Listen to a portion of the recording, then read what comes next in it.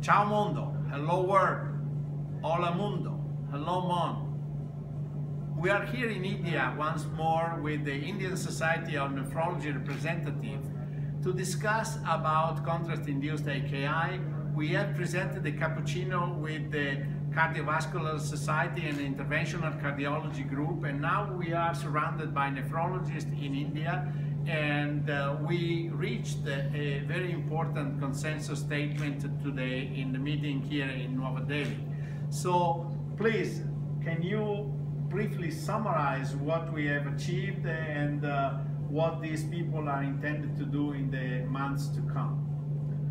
Uh, I'm Dr. Vinay Sakhuja and uh, I'm speaking to you on behalf of the Indian Society of Nephrology in particular the members of the society who are here this evening.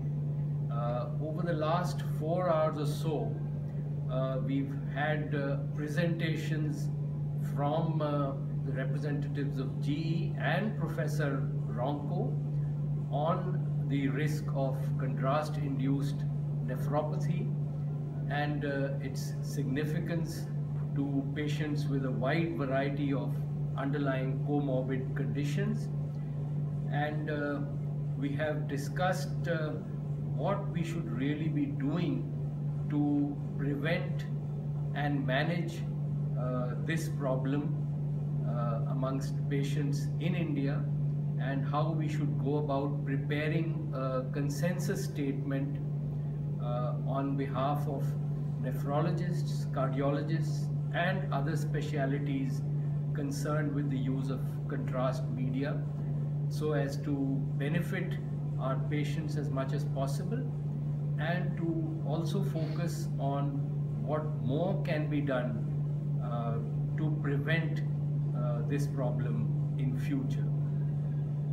Okay, thank you. I think that uh, uh this is a very good summary and uh, basically uh, two things important have emerged. One, the need to work in a multidisciplinary environment. So very likely India will be the leading nation to show to the world how to work together with different groups.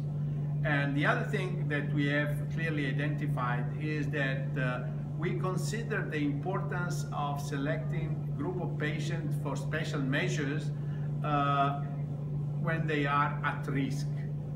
This population at risk in light of new discoveries and new methods to evaluate renal function may be wider than what we expect.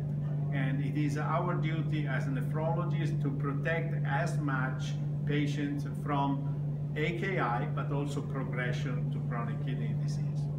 With this, I thank you very much for joining today from uh, New Delhi in India and the fantastic community of nephrology of the Indian Society of Nephrology. Thank you very much.